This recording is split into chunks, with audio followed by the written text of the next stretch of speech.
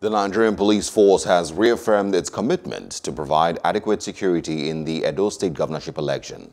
The Deputy Inspector General of Police, Adeleye Oyebade, who gave the assurance in Edo State, says the force will deploy three officers per polling unit to ensure smooth process.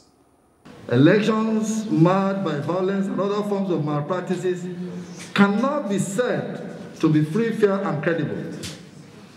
Election violence can breed fatalities and abruptly cause injuries to the psyche and physical bodies of victims, leaving with them perpetual pains.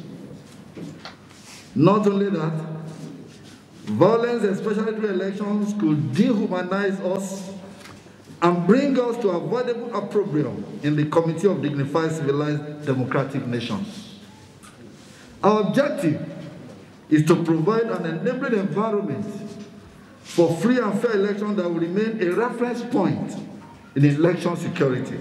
Adequate police officers comprising conventional, plainclothes policemen, and special forces have been deployed to provide robust security before, during, and after the election. Nothing less than three policemen will be posted to each of the polling booths. Nothing less than three. So we can have three, we can have four, we can have more.